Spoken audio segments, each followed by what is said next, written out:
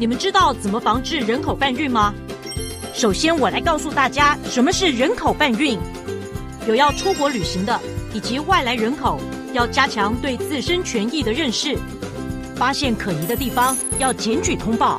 移民署跟司法警察会持续巡逻查缉，民众可以跟他们举报。抓到你们了！